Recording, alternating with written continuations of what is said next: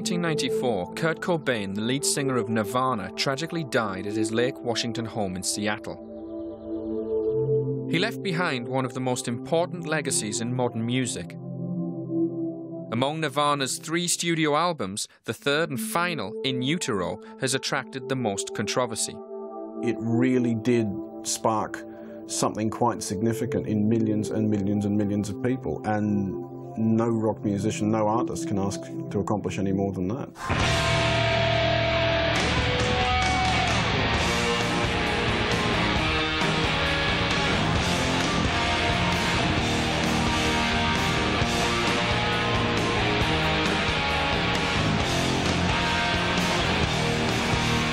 I mean, in utero essentially is a, you know, is a flip middle finger to everybody who accused them of being, you know, pop sellouts. They made rock look, sound and act like it should do again. Having been seen as everything from an artistic high to a protracted suicide note, this film examines In Utero, how it came into existence, the music itself and the band that made it.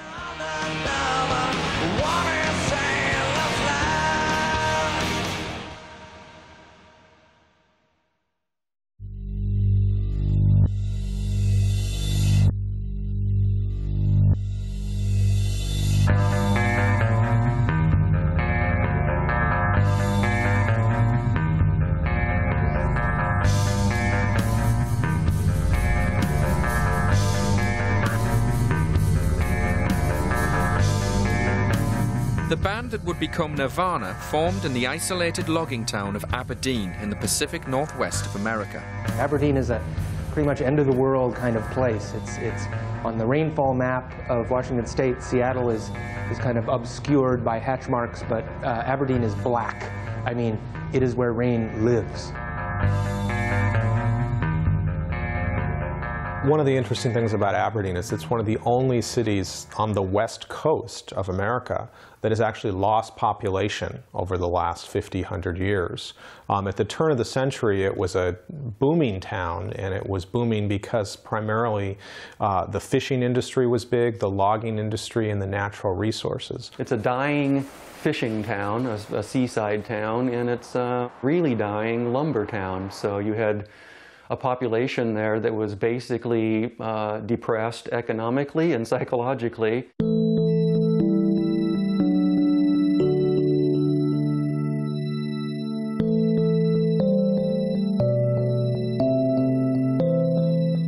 The first incarnation of Nirvana came together in Aberdeen during the mid 1980s. The band was centered around bassist Chris Novoselic and guitarist and singer Kurt Cobain. Forming around a mutual love of punk rock, one of the group's earliest influences was another Aberdeen punk band, the Melvins. Kurt was uh, really influenced by the Melvins, and for good reason. I mean, they they were just they were the heaviest thing there was. There wasn't anything heavier than the Melvins, and there probably still isn't anything heavier than the Melvins today.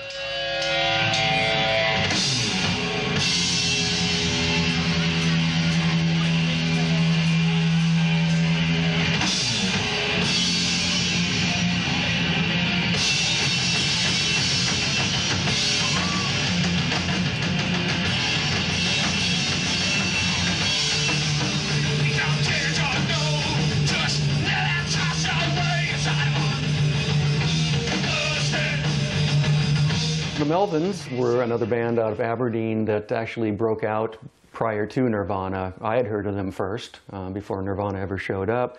And they had put out a slew of records, and uh, they were unique. I mean, here was a band who had, to quote the old Frank Zappa phrase, no commercial potential.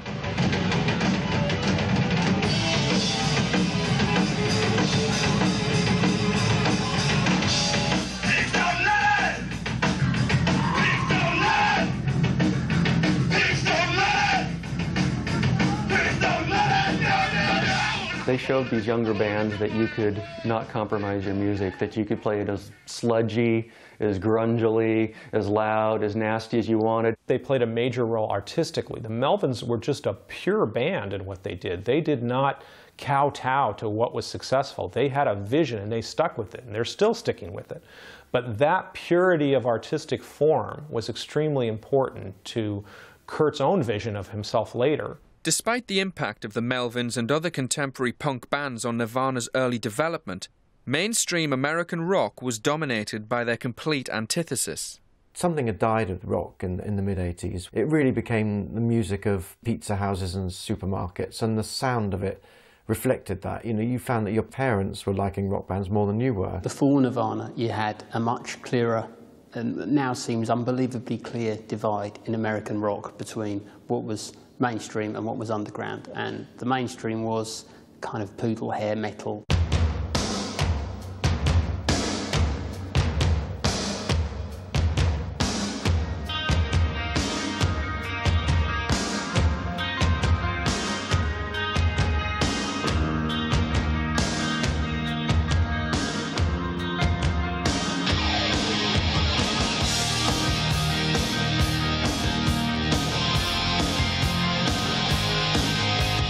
Lot of people are just fed up with what we were hearing on the radio all the time. You know, we were really tired of listening to, uh, you know, a lot of the 80s rock and LA rock rock scene going on, and because um, it was so, it was so campy. You know, it wasn't honest. It was just like built to make a buck.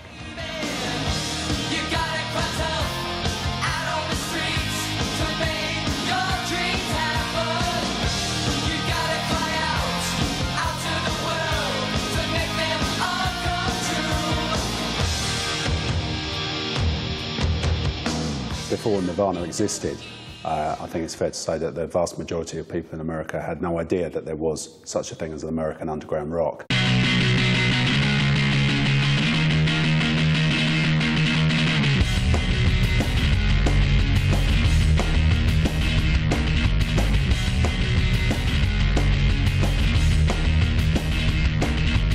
By the time Kurt Cobain moved to the college town of Olympia, this underground rock scene was becoming a major influence on his songwriting.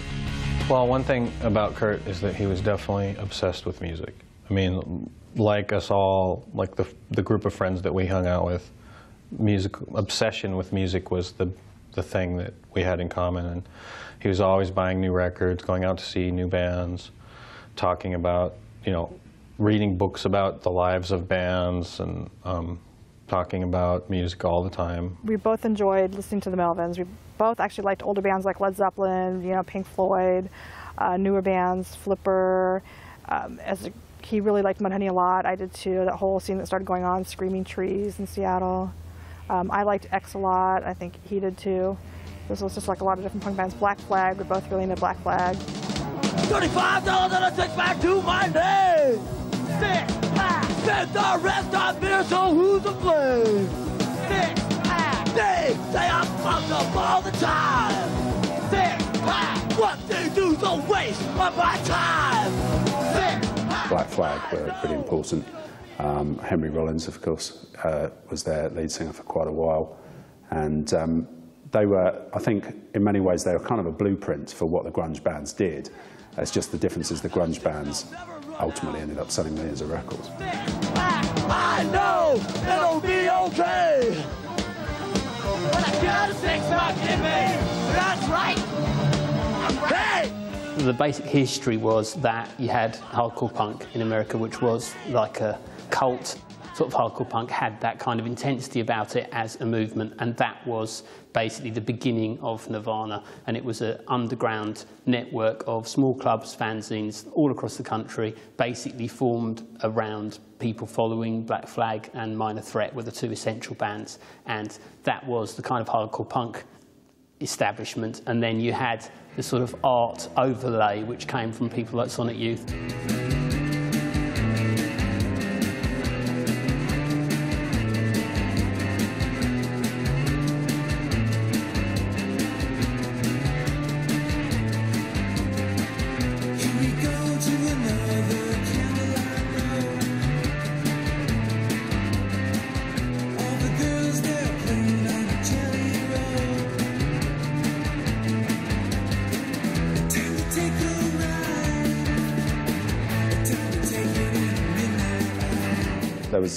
Whole bunch of bands uh, who looked at the American punk rock scene, uh, who loved it, who loved its commitment, loved its attitude, but perhaps thought musically it wasn't ambitious enough. So you saw people like Sonic Youth who, um, you know, borrowed, borrowed a lot of the imagery, a lot of the sound from those bands, but then would add a kind of more arty level. They were more interested in musical experimentation.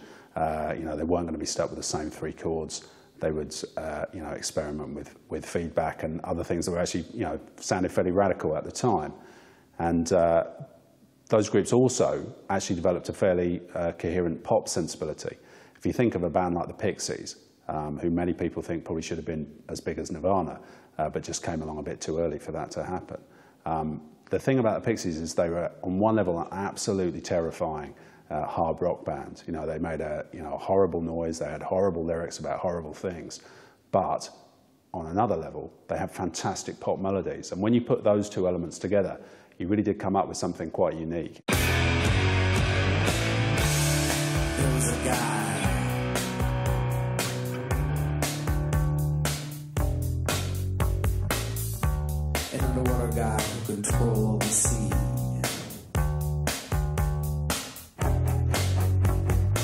always been generally assumed that the Pixies were the most important influence on Nirvana because of the, the kind of, the, put it simply, the quite loud dynamic. Had a real key grasp of dynamics, which was um, to prove incredibly influential on, on the grunge scene. I think people boil it down to, you know, quiet bit, loud bit. Um, there was a bit more to it than that in both Nirvana's hands and the Pixies' hands. But, um, you know, that, that, if you want to be simplistic about it, that is what it was about. But it's the contrast that made those, those bands so startling.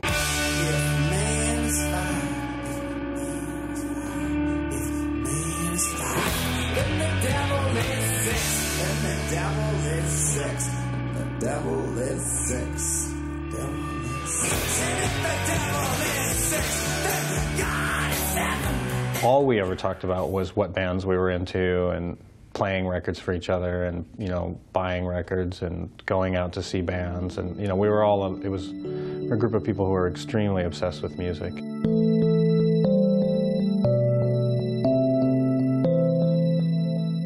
While Kurt was still living in Olympia, Nirvana was signed to Seattle-based label Sub Pop Records. Despite the small size of the label, Nirvana were able to convince them to release their first LP, Bleach.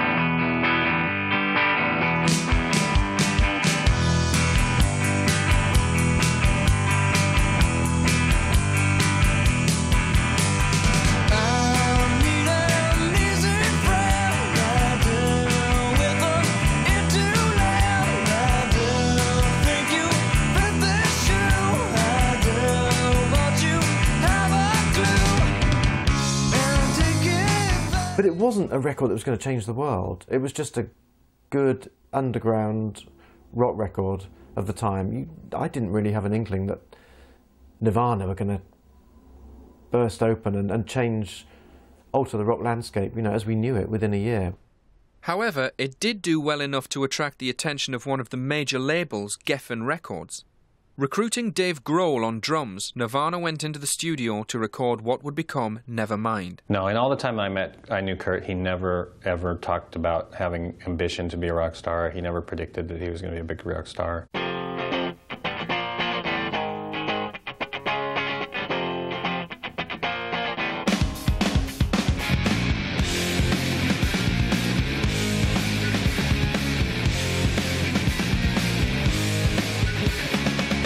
Smells Like Teen Spirit, in my opinion, the reason that that song is so powerful is that the lyrics, the sound, the whole emotional tone of that song is so instantaneous and so connecting to every human.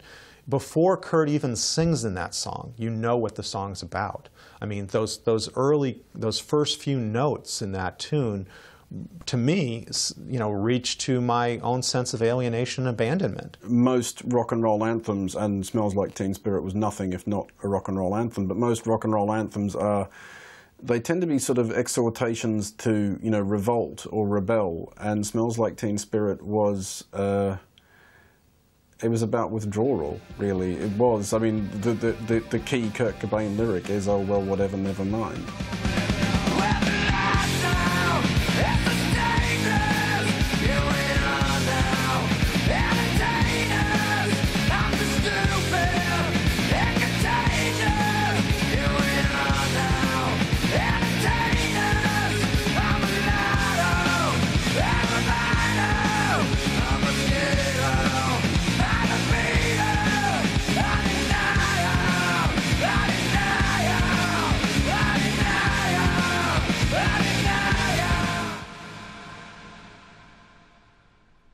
The huge commercial success of Nevermind and Smells Like Teen Spirit turned Nirvana into overnight stars. This level of unprecedented fame took its toll on the band members and their punk rock philosophy. Well, Nirvana took off faster than anyone was prepared for. Um, certainly, Kurt wasn't prepared for that success, nor was Chris, nor was, was Dave. Um, these guys had been in sort of struggling bands that had driven around the country in vans. And Nevermind was selling so fast in the fall of 1991 that there literally was shortage of it, of the record. You couldn't find it for about two weeks because it had sold out everywhere. They just put out their first major label album, their second album total, Nevermind, which had sold an absolutely staggering quantity in very little time, which is something that nobody had expected or anticipated. Uh, they'd reacted to that sort of onrush and fame and success, it's fair to say, pretty badly.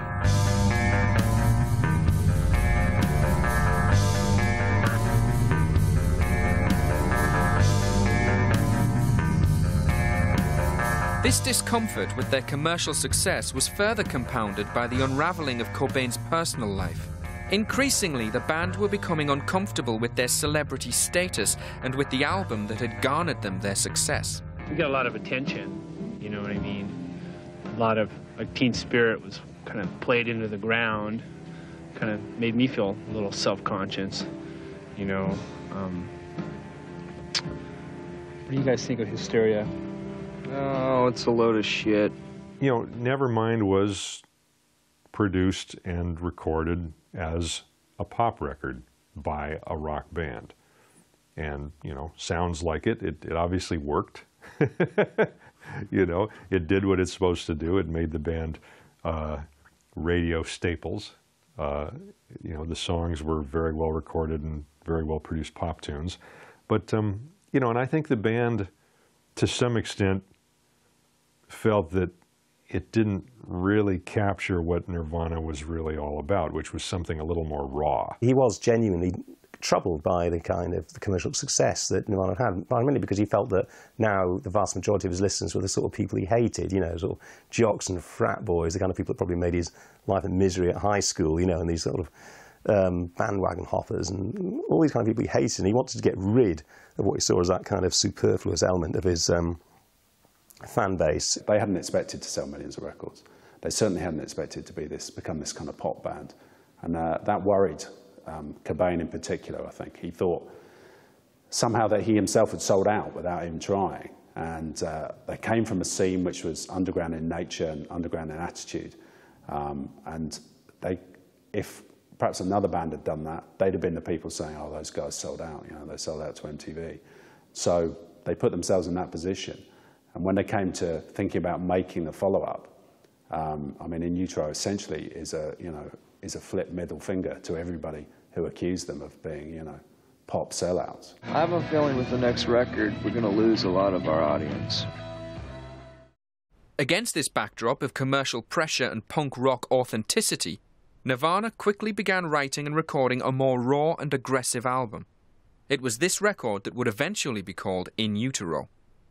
Among the first demo time booked for the new album was a session at the end of 1992 with Bleach producer Jack Endino. The demoing, well, of course, I didn't know that it was going to be called In Utero. Nobody knew yet because it was a year and a half, you know, away. This was in, I think, I think it was September of 1992. Uh, they called me up, and this was right about the time that Frances was born, Frances Bean. Um, they called me up, they booked the time, and then they canceled at the last minute because the baby had just been born. And then a few weeks later, they, they rescheduled. Um, and they actually, Dave and Chris showed up along with a couple of their sort of roadies, technicians, whatever. And they set up, and then Kurt didn't show up. The second day, he finally showed up in the evening, and they bashed out six songs instrumentally, very quickly. And then uh, Kurt sang on one of them, which was Rape Me.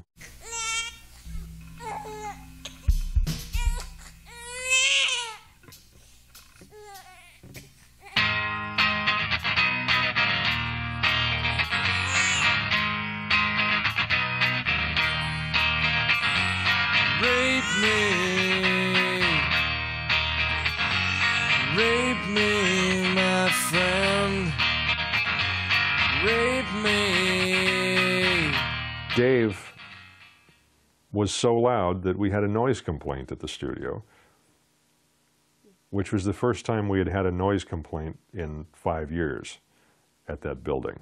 And it was from a neighbor that was like several houses away because the police came and much to my amazement, the police came and knocked on the door and, um, you know, I had to say, well, I'm recording Nirvana in here. And they said, well, we don't, you know, care who you're recording. There's this guy through, you know, down the street and they pointed at a house. He's complaining about the noise. And I'm thinking, wow, I guess Dave is pretty loud.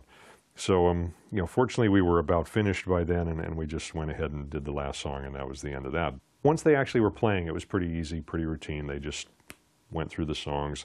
Uh, it's just too bad Kurt didn't bother to sing on any of them because I didn't really get to hear what the I didn't really get to hear them as songs until the In Utero record came out. You know, years later, I was like, oh, that's how that song goes, you know, because I didn't hear, the, you know, no lyrics, no melodies, just some guitar riffing and, and, you know, drumming. So, so it was a pretty inconclusive session. By 1993, Nirvana were ready to record the new album. Their search for punk rock authenticity had led them to Steve Albini, both a respected recording engineer and controversial musician in his own right. The decision to go with Albini was was sort of presented as being about the Albini sound, but it was actually about much more than that. It was actually a sort of complete ideological package and a way for Nirvana to say, you know, look, we might have made it, but we're still true to where we're coming from. I mean, Albini, it, what's most often tendency mentioned, of course, that he'd produced the Pixies, who were Nirvana's favourites, and, you know, that's kind of a straight thing. But more importantly, Albini had been a key figure in kind of taking on the legacy of hardcore punk kind of exploded in about the mid 80s.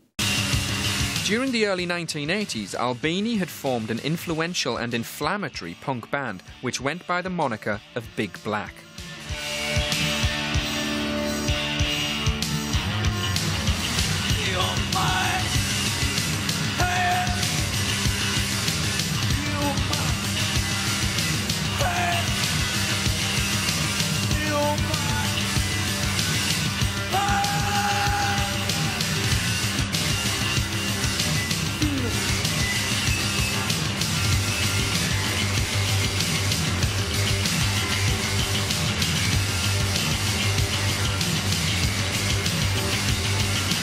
Groups like Big Black, you know, the, the, guitar sound is huge. You know, they've got this, you know, these massive sort of open sluices of sort of jet black sound that are coming out. It's a sound that's got a very kind of punkish attitude, but at the same time, it's like harking back to, unashamedly, to the sort of massive sounds that you get with people like Led Zeppelin and, and Black Sabbath. So they're one of like a number of bands who are kind of almost like kind of you know, in rock's sort of supposedly, you know, latter years, they're kind of suddenly um, massively sort of extending its kind of, you know, its lexicon, its vocabulary, and sort of raising the sort of volume and temperature of rock music the way that Hendrix had done maybe 20 odd years earlier. Despite other musical projects, including the extremely controversial Rapeman and more artistically successful Shellac, Albini moved into record production, applying the same philosophy of creative simplicity to the recording process as he did to his own music.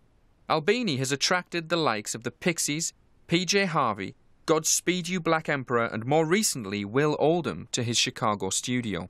Steve Albini is, is a no-nonsense producer almost to the point of caricature. He does produce all sorts of different sorts of music, which is often forgotten about him, and he has in his time. I mean, he even made a country record with Robbie Fulks once. But he does bring a very similar sensibility to everything he does, which is there's there's no frippery, there's no frills. Everything is done as sparsely and as simply as it can be, and he has a very rigidly anti-commercial ethos, which is not to say that he is. Uh, he's against making records that people might actually like and people will want to buy, but he's very very careful to guard against any hint that that's why he's making the music, to the extent that he has, as far as I'm aware, career-long uh, policy of never accepting royalties for work on his record. He takes a flat fee. Uh, I'm sure in the case of a band like Nirvana with Geffen's backing, backing, it's not an inconsiderable flat fee, but he doesn't take um, it, it, makes no difference to him financially whether the record he's made sells 100 copies or 100 million copies. The key element of the Albini package was that you go to his studio, you make the record in two weeks, do the whole thing, and it's, he's not credited as the producer because he regards that as a you know decadent pre-punk indulgence. It's recorded by Steve Albini. With Steve Albini on board, Nirvana entered the studio in February 1993 and quickly completed the album in half the time it had taken to record Nevermind. However, despite the smooth recording process, there were to be some complications over the record's final mix. So they did this record. By all accounts, it went quite well. Everyone was happy with it. And then, uh, almost as soon as it was finished, Albini, as a kind of preemptive strike, sort of said, you know, well, I bet the label aren't going to like this. And as soon as Kurt played it to the label, of course, the, the aspect about it the label didn't like, which is that it's a characteristic of Albini's productions that the vocals are quite low down. It sometimes sound there's a, there's, it, it's a weird mixture of kind of clarity and sludginess you get with him. Like you can hear some aspects of the band very clearly, and there's something else. Sometimes you listen to his production, you think, now I understand why people take some months to make an album. And it, you know, it seems that those two things were both apparent in these recordings because when they got them home uh, various members of Nirvana sort of listed them and thought there were things that most of it they liked, but there were things they didn't like. And then this huge, ridiculously political row blew up where the Varney, um, Albini, as a kind of preemptive strike, said, "Well, I bet the record company are going to change it." Then there were sort of stories in Newsweek. It just got completely out of hand and became this. Uh, basically, when you look back at it now, the idea of in American pop music of an ideological debate about how a noisy rock album should be made, occupying the very centre of the media. I mean, it's just, if you think of it now, it's completely ridiculous. But it did happen, and it was, and it was kind of fun. And, and the record, when it appeared, it did bear out, it, it bore out sort of both sides of the argument. In, in the end, after sort of threatening to get the whole thing re-recorded and then deciding not to. Nirvana ended up just, I think they got REM's producer Scott Litt to kind of tidy up a couple of tracks, which was, for a record that was done in just a couple of weeks, was really very minor. By the end of the summer of 1993, In Utero was finally ready to be released.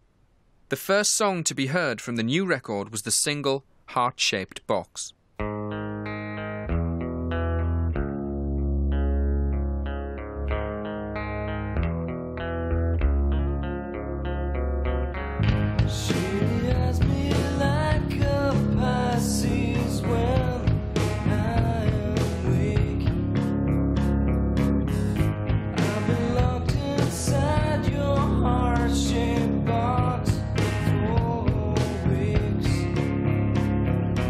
Heart-Shaped Box is, is really Kurt Cobain's songwriting genius, you know, kind of distilled into one song. I really do think that if there's one song that stands up as a definitive Nirvana song, it's this one, even more than Smells Like Teen Spirit. It's... Uh, it, it, has all the great Nirvana tropes there. It does the loud, quiet, loud bit, which is, as Kurt Cobain freely admitted, something of a borrow from the Pixies. Um, it, it, it, goes in and out of sort of two or three different movement, movements. It has these fantastically violent, abrasive guitars, and yet an incredibly sweet tune over the top of it.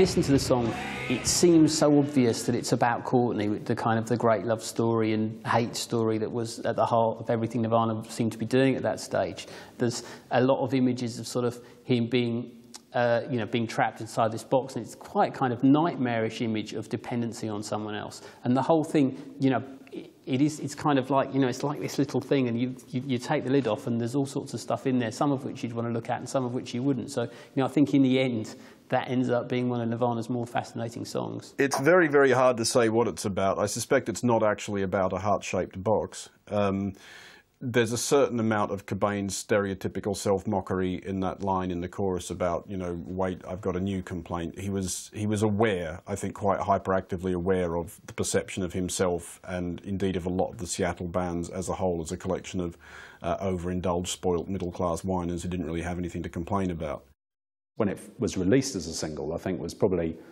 was a surprise to a lot of people. Everyone was expecting Nirvana to come back with a you know another fist punching rock anthem in the in the Smells Like Teen Spirit mode, and Heart Shaped Box wasn't really that.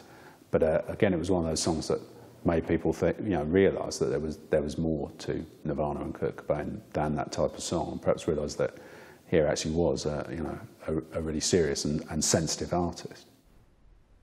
In Utero was released on September the 21st, 1993. Despite all the anticipation surrounding the record's release, the title alone caused some controversy.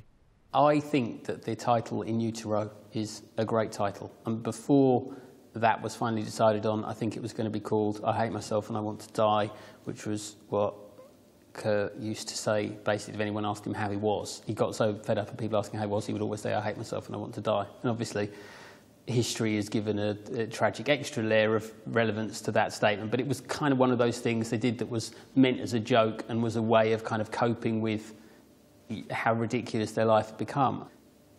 I think the next title, another title I had was Verse, Chorus, Verse, which was sort of sarcastic summation of classic pop songwriting, which you know he knew he could do by then. In Utero may, on the face of it, be a more palatable, um, you know, title, but I think really it's clear that Kurt Cobain is really saying, he, you know, basically he wants to go back to a time before he was born.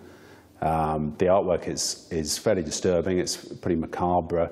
Um, and you know, when you when you see that in a record shop, even today, it does stand out as a different kind of sleeve. Nevermind had a very celebrated sleeve, but essentially it was a kind of cartoony image that everybody got.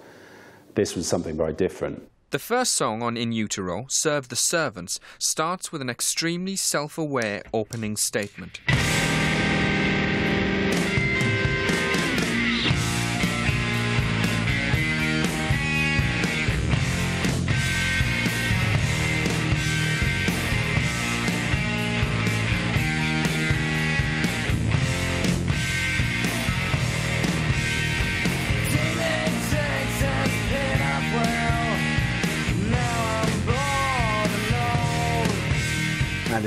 Opens with that, you know, fantastic couplet of somewhat sledgehammer sarcasm from Kurt Cobain saying, "Teenage angst has paid off well. Now I'm bored and old." Uh, he would have been, I guess, 26 when he wrote that. Um, but yeah, it is. It's it's basically it does set the tone for the album. It's it's yeah, I've got everything I wanted and and I don't want it. The fact is, it's obviously meant to be a joke. He's saying, this is, this is the start of my first album after a huge successful album. I'm just going to put that there. And he said, you know, that was just a little throwaway line just to introduce, because I knew that everyone was thinking that anyway. So I thought if I could say it, it could clear some space. You put uh, In Utero on, and then you're expecting, you're really expecting a, a racket. And Cobain plays with that, with the first chord. It's just like this discord. Um, can't tell you which chord it is. But then it comes into this bright and cheery, almost Beatles style chord sequence, you know, late era Beatles um, song. One of the most conventional songs that Nirvana did in a way. The Servants is a, is a very bitter um, song. I mean, essentially, it's, the it's the, the stuff that people never tell you about being famous, really, that song. Um, I think there's, you know, certainly in this celebrity dominated um, age, we tend to think that you know, the second you become famous, your life is one big party and you're walking into nightclubs and people are buying you drinks and giving you high fives and uh, trying to get off with you. And um, Serve the Servants really tells you that it's, it's actually not like that because the, the trouble with Nirvana becoming such a big band was that Nirvana and Kurt Cobain in particular were not equipped to deal with fame. You know, they were not Big Brother contestants. They were not you know, pop idol wannabes. Uh, they were, you know, relatively damaged people before they even got into fame uh, and fortune. And the trouble with those things, if you're not a particularly well-adjusted person in the first place, they tend to amplify everything that's, that's wrong with your life. And that's really what Serve the Servants is about. Um, there's references to the way Courtney Love was treated in there. Uh, I think in the, you know, the reference to witch trials that you get in there. And um, it's, uh, you know, it's, it's a very bitter record probably should be played to everybody who's thinking about starting a rock band um, before they actually sign that contract because that, that is potentially what you're getting into. The next song on the album, Scentless Apprentice, clearly demonstrates the record's characteristically heavier sound. Rarely do you hear a song burst out of the speakers like that. It's full of vibrancy, so alive it's almost dead.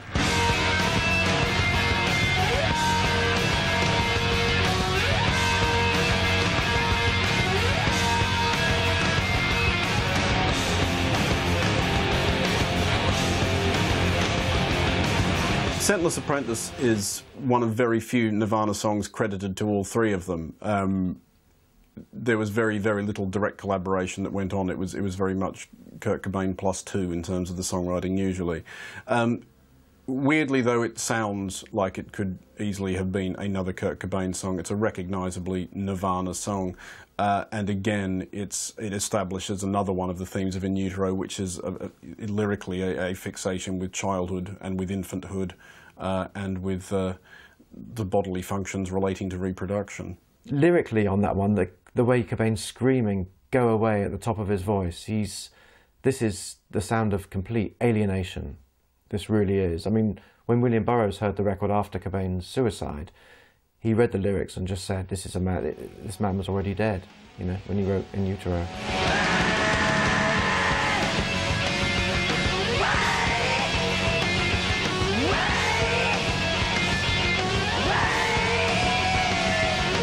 And you hear that, you just think that's, that's fine. That sounds like someone tearing their own intestines out through the back of their throat. That's exactly what I want to hear.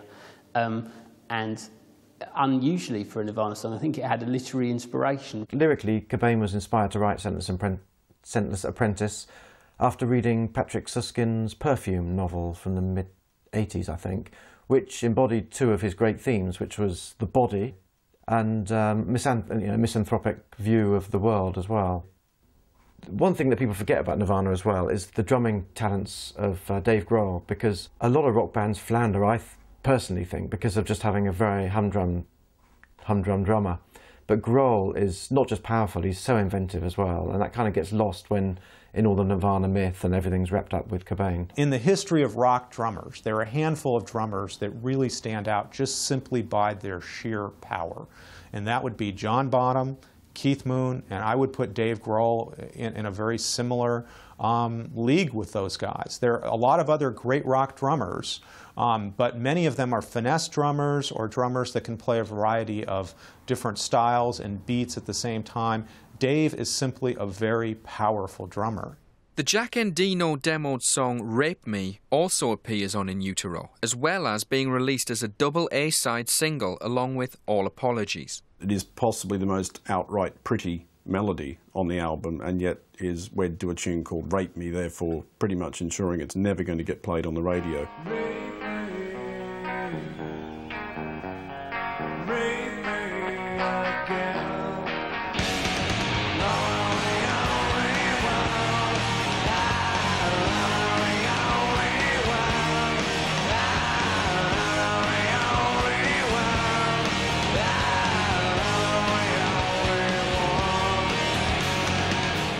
Picks up theme from Nevermind in the song Polly, which was written about a someone who was going to be a rape victim who kind of turned it round on her uh, attacker and kind of used the power that Nirvana were beginning to have to try and say something quite radical. Polly wants a cracker. Think I should get off the first. Think she wants some water to put out the me?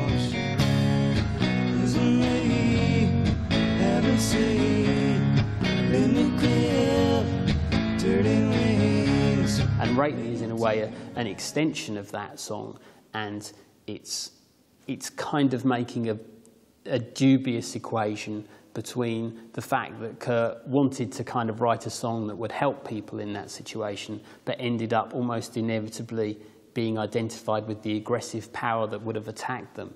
And so it's kind of him almost putting him, laying himself bare and saying, you know, just do this to me, this terrible thing. Whatever the song's intended meaning, on its release it was interpreted by fans and critics alike as a comment on the media and Cobain's own fame. Given the mood that Kurt Cobain was very obviously in regarding media intrusion and press intrusion and the fact that his personal life had turned into something of a soap opera, um, it's very difficult, as he would surely have known, for it not to be heard um, as a slightly self-indulgent protest song. The point with Rape Me was he may not have meant it that way, but once he was where he was, it sounded like that. And that restriction was something that his sort of, he was trying to cope with and also refusing to cope within, within, utero, with, in utero. It was kind of saying, you know, I'm going to say this thing which matters to me, whatever, however it's going to be interpreted, and irrespective of our success, because that's what I've got to do, because otherwise I'm going to go mad. As the blackbird in the spring,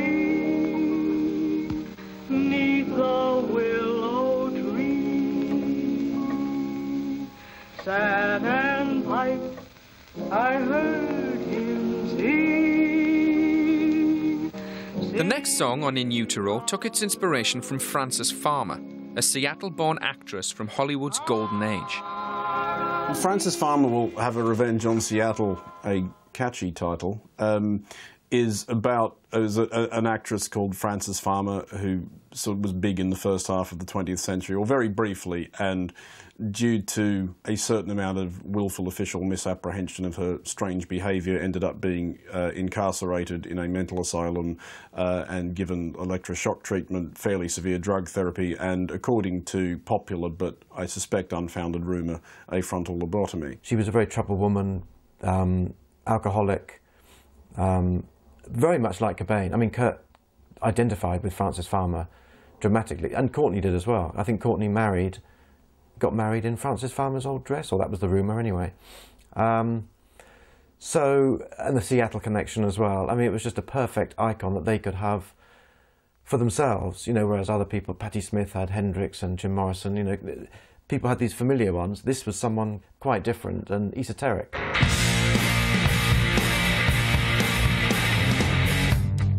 Yes, I'm relieving, now that you're leaving, soon as you get paid. Yes, I'm relaxing, hear that you're resting, never you. Get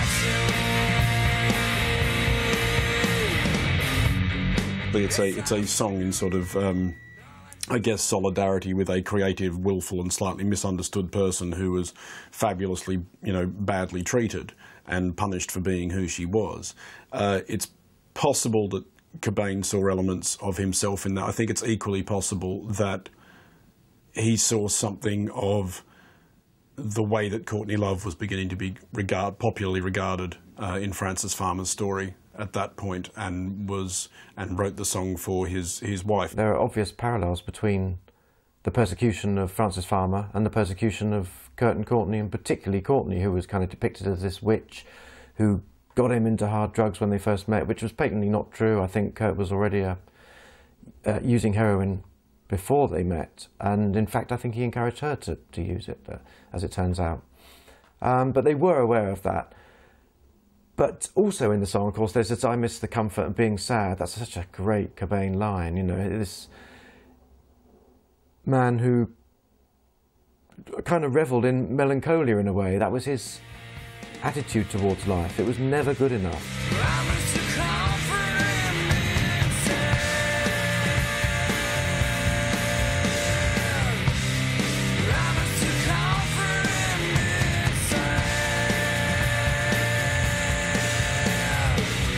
Another song on the album that demonstrates Cobain's lyrical depression is Dumb.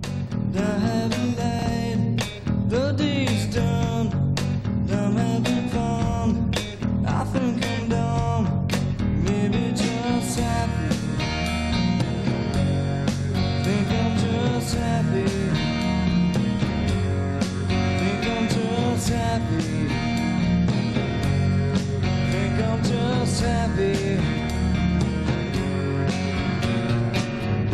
Dumb is essentially a very sweet song and a very, very, very Nevermind sounding song. It, it, it, has that weird skipping rhythm of a lot of Kurt Cobain songs. He kind of comes to terms with how much the idea of being happy upsets him, which is, you know, a fascinating idea, especially for someone who's been subsequently depicted as wallowing in his own misery. And it's like there are a couple of songs in the sound which are really shot through with have a real sense of joy.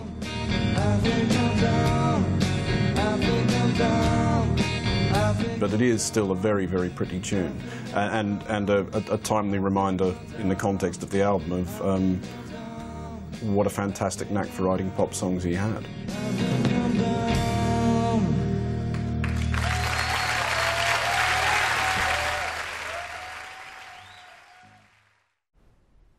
Several songs on the LP's second side begin to show the anti-commercial edge to the record and the influence of Steve Albini. For me, it's one of the last sort of big albums that I remember experiencing on vinyl and not thinking that it was meant to be experienced any other way or anyone else would be experiencing it any other way, even though that was probably wrong because probably lots of people were getting it on CD. But it's very much an album of two, sort of a classic vinyl album of two sides. And on the second side, you start to see why possibly two weeks isn't quite long enough to record a great album. Again, it, it, it is part of the very uh, aggressive nature of the album that taken as a whole, most of the more obvious and accessible songs tend to be front-loaded near the start of the record. So you get kind of an easy introduction. The longer you listen to the album, the, the, the harder um, it starts to get.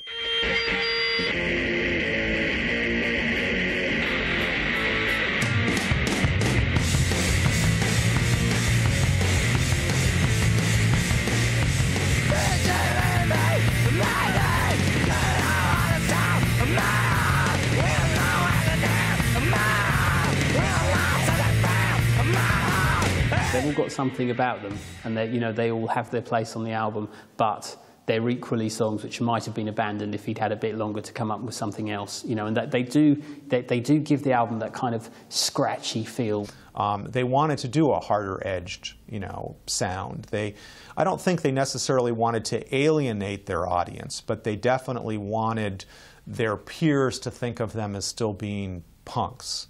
And In Utero has a very punk sound. These songs, among others on the record, also demonstrate the depth and power of Cobain's vocal talents. Kurt's singing voice, I, I always really liked. I, I thought he had a, he sounded always really so uh, sincere.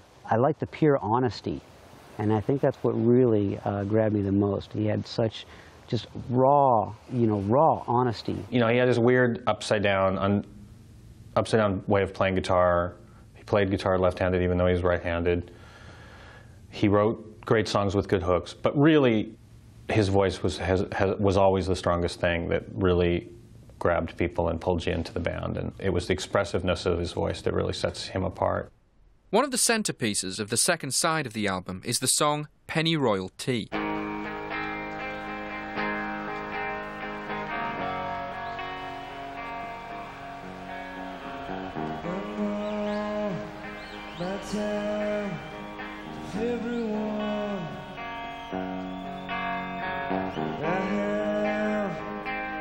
Just a beautiful song, beautiful and painful, and you know that from um, one of the greatest moments in 90s rock music is really when that chorus kicks in. It's just it's as rousing as a football anthem, but with you know everything that a football anthem doesn't have.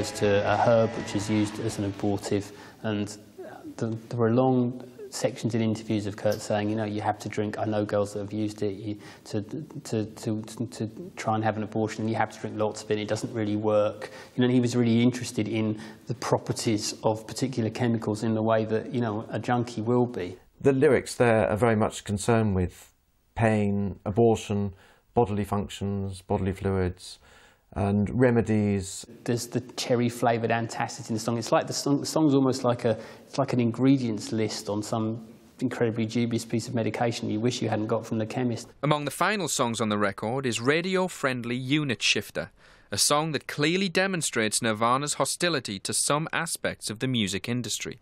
Radio Friendly Unit Shifter, it is, it is all there in the title. It was, it was a very much a Nirvana thing and very much a Seattle grunge thing, the slightly laboured sarcasm towards uh, all vestiges of the music business. And obviously, when you look at the song by Nirvana called Radio Friendly Unit Shifter, you know it's going to sound like somebody kicking a tool case down a stair stairwell, and that is. Um, That's pretty much what it does. It's it's it's a, I mean it, it's quite thrilling in a way. It's a it's a fairly uh, um, exuberant and invigorating oral assault. I'm not really sure how often you'd want to go out of your way to listen to it in one lifetime.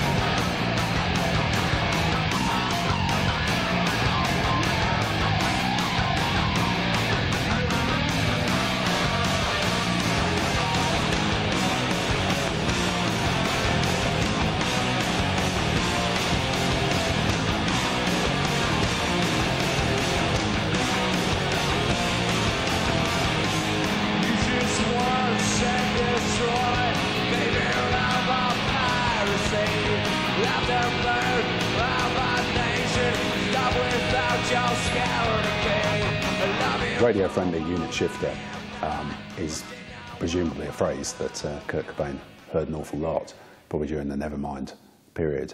Um, it's one of those phrases that American music biz execs like to bandy around, uh, or certainly did like to bandy around in the 90s. Um, and here we're seeing, you know, Kurt's famous uh, sense of irony at play because of all the tracks on In Utero, uh, if any one of them is not a radio-friendly unit shifter, obviously it's that one. Um, so I think you know it's easy to see in Utero as just a dark record, and it is a dark record, and the benefit of hindsight has made it seem even darker than it did at the time. But still in there, there are there are moments of that Cobain humour, which I think rescues it from being a, a purely uh, depressing record. Yeah, radio-friendly unit shifter. I mean, it's a it's a great title, and it's a great example of Cobain at his cynical best and it's really a one riff, one line song. It's what is wrong with me? What is wrong with me? And um, yeah, that's a genuine question that he's ask, asking in that song. The album climaxes with a song that since Cobain's tragic death has been imbued with a lot more poignancy.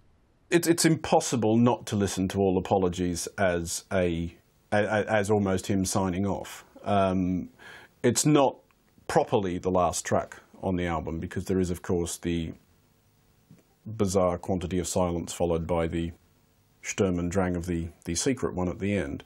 Um, it's, it's just impossible to know whether he was already harbouring serious thoughts of suicide when he wrote the song, and that doesn't seem impossible given that that had already appeared as an idea in, in other of, others of his lyrics. Um, it's just uh, he was clearly uh, at the time this album was recorded and and subsequently a, a very confused and unhappy person. Um, but I think that the strength of the strength of that song and the strength of the whole album is that you don't really you don't need to know that the guy killed himself afterwards to actually sort of think this is this is a great and significant record.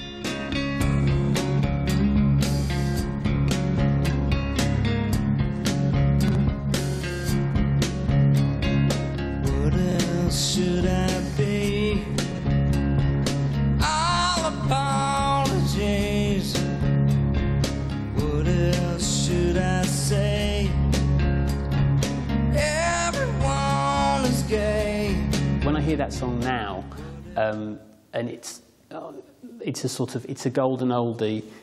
It's a suicide song. It sums up this uh, experience which has been taken away from everyone, including Kurt, and made into a cliche. Um, before all that happened, this song was a beautiful, living, eh, just an exquisite thing. And in some ways, you know, that's very, very sad in itself, and that, that almost in that, in that change, you can see kind of what's happened to Nirvana and what both what Cobain's suicide did to the band in kind of cutting them off and leaving them there and making everything be something that would be picked over and digested and endlessly sort of made dull in the way that has happened. But also it, it sort of embodied why he committed suicide because you know, there's just this yearning in it to communicate and just to sort of say, you know, what else can I say? Everyone is gay. It's just like almost regressing to childhood in the desire to make an impact on people in a way which is genuine and isn't just about the fact that this is a song being sung by a hugely successful band.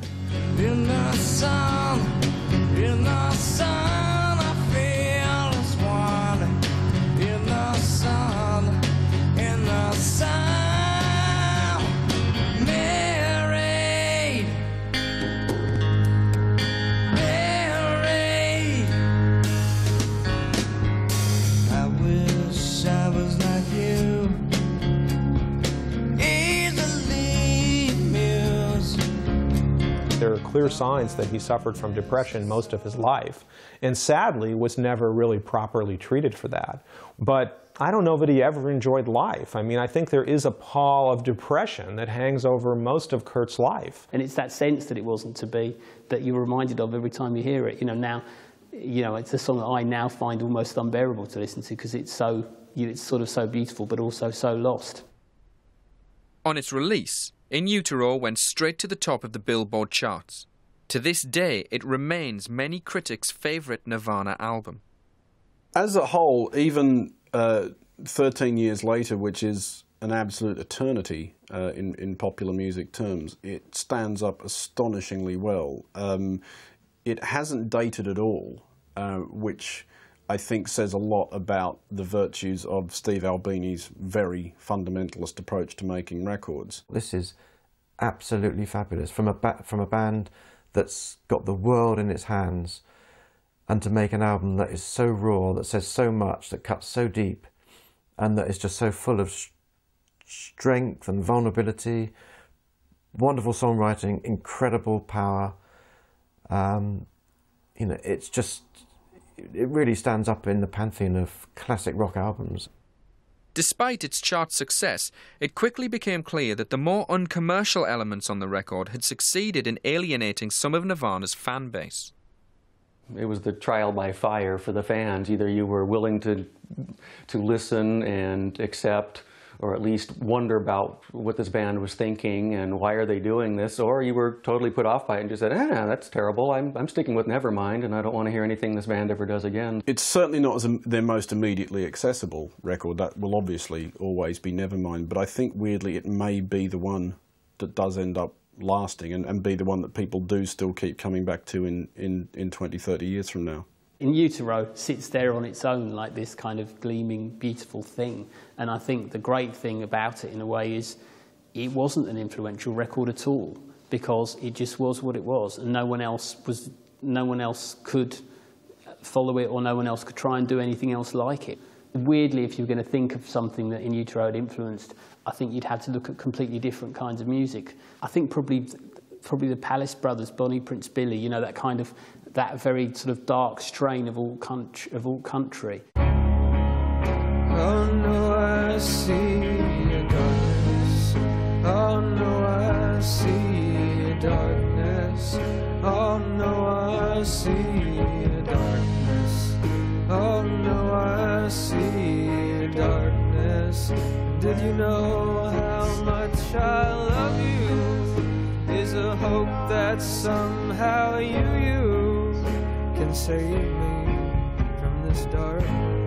That basically was a response to Nirvana's success because there was not anyone with any creative nous realized that you couldn't do any more in that field, so you had to try and do something else. And all those people, the kind of, the, you know, the, the, well, they tend to be called the alt country people, but, but Will Oldham, I think, is the, the greatest example of a songwriter who is definitively post Kurt Cobain because Cobain has done this stuff Will Oldham had to do something else. And I think that's where the lineage kind of goes that way.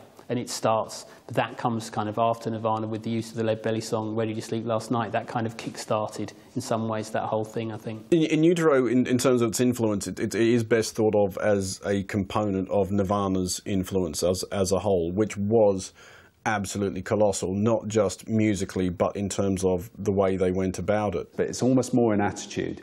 It's like if you're a serious band, at some point you've got to get around to making your in utero. Um, you've got to make that record which is uncompromising in its sound, which is uncompromising in its lyrics. And uh, I think you know you can see elements of, of that in uh, all sorts of records. You know, when, when Radiohead made Kid A, when people wanted them to make a, a record that made them into U2, uh, they in fact you know went the other way, and uh, you know they made it's not as it's not as scary as in utero. It's not as bleak as in utero. But they made a record which was essentially saying to everyone who thinks we're the U, new U2, we're not. You know, we're just going to do what we want to do. And I think that's its key influence. That it really gave bands permission to do that. Huge big bands who perhaps are under pressure from record companies say you've got to follow up your last mega selling album with more of the same. You know, this album's got to be even bigger. It's got to have even you know bigger hits on it. I think. Uh, what In Utero does was that bands could think, well, actually, we don't have to do that. you know, we can, we can step back, we can try and do something different. So art artistically, I think it's, it's been a very influential record.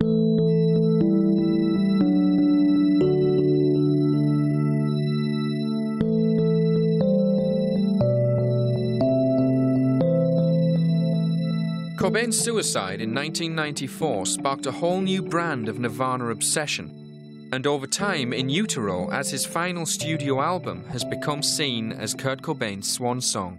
There's a lot of flirtation with the dark side in, in pop music, and um, but you know, unfortunately, on In Utero, it was kind of the real thing. Within months, he was trying to kill himself, and just over a year later, he was dead by his own hand. Um, which just reinforces the sense of genuine sense of real pain that's etched throughout that record. Despite his tragic death, In Utero, along with Nirvana's other recorded work, stands as a testament to Cobain's talents as a songwriter. He was able to put huge emotional shifts within his songs. So when we listen to them, it kind of is a, a, it helps us in our own lives either understand ourselves or express and feel our emotions more.